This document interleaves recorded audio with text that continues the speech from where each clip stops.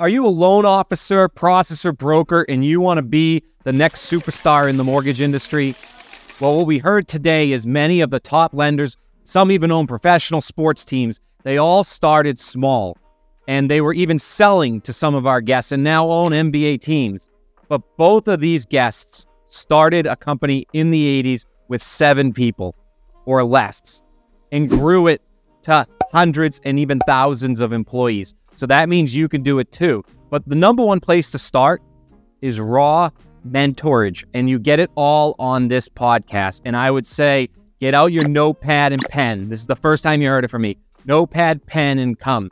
You are going to get advice on how to run a company from a cultural standpoint, from a P&L standpoint, and even you'll get from a customer relationship standpoint, you'll get the 10 commandments you need to be a better partner to your customers as well as your trusted advisor network.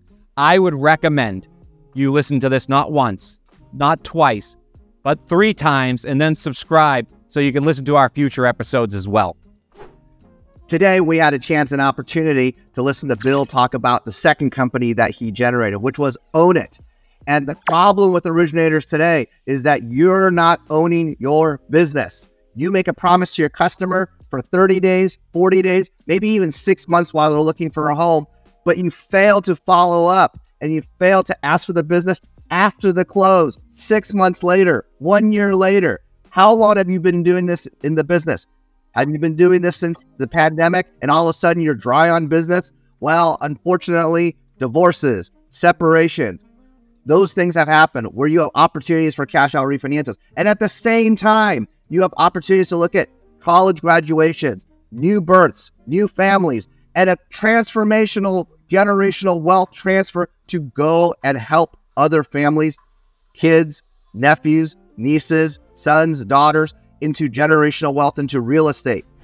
Uh, today, you know, I I thoroughly enjoyed it. I really did, and I think one thing uh, that I felt I I was reinforced and made to feel like maybe we had the right concept.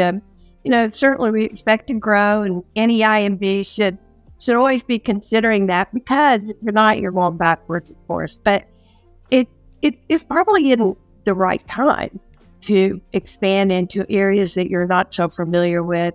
Uh, maybe it is best to, in this environment, stay in your lane, improve your processes, improve your AI, as we talked about.